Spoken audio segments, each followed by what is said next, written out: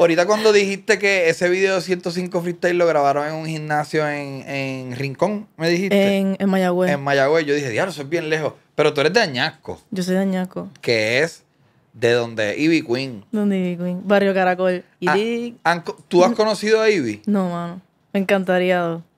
Es una meta.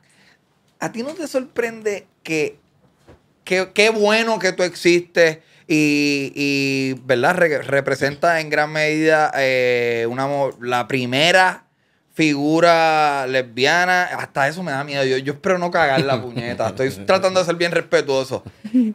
Y pues tu debut fue en el 2021.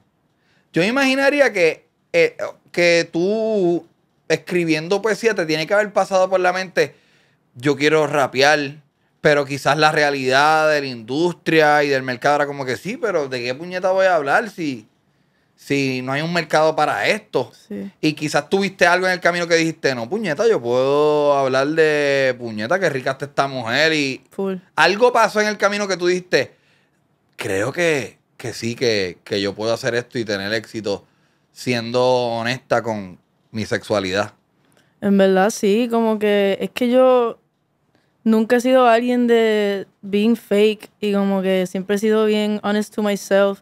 Y mis papás siempre lo que me han enseñado es como que la gente huele lo fake. Ser fake al final del día te engaña a ti. Tú vas a ser infeliz contigo mismo. ¿Para qué tú quieres eso? Y tú sabes, so, cuando yo escribía también es que me salía así, como que cabrón, pues me gustan las mujeres, pues, pues ¿para qué puñeta lo va a escribir un hombre? ¿Me entiendes? Eso no es lo que me gusta.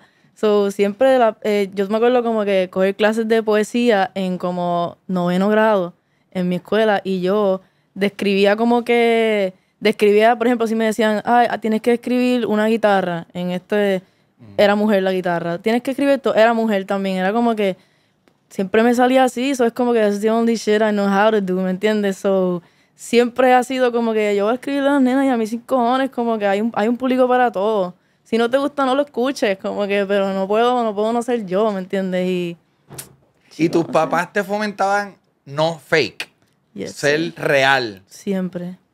¿Me puedes dar un ejemplo?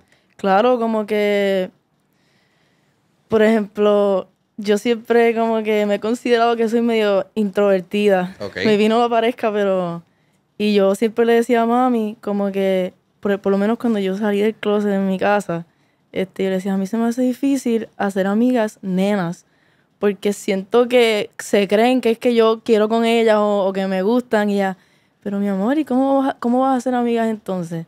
Tienes que dar miedo en la gaveta y tienes que zumbarte de pecho y así como que real, real, yo, ¿sabes? Yo no tenía casi amistades, yo tenía como tres o cuatro amiguitos en high school y yo siempre me sentía como el patito feo y mami como que no, tienes que, tienes que salirte de ese caparazón y como que si no nunca vas a vivir en realidad y eso es algo que siempre me han... Sí, que tú tuviste una experiencia de súper apoyo en tu casa. No siempre, o sea, por lo menos en el sentido de como que mi orientación sexual, pero en todo lo demás, por ejemplo, yo de toda la vida he jugado deporte, yo karate, pero yo era bien chiquita, no, lo- no lo de Ah, de repente me estás cambiando No, los no, no, muñequitos. la dura en el armbar.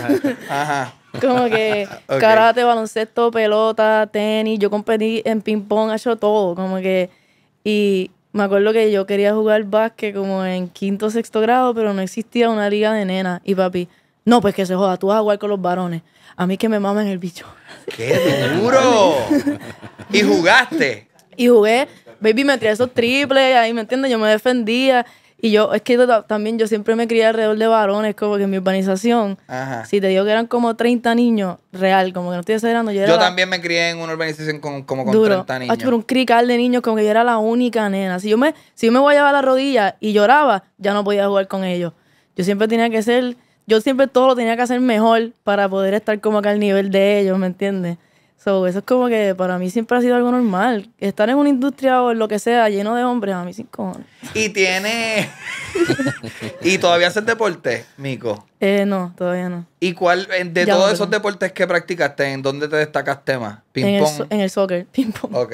En el soccer. Digo, tenis de mesa, perdón. Tranquilo. Ok.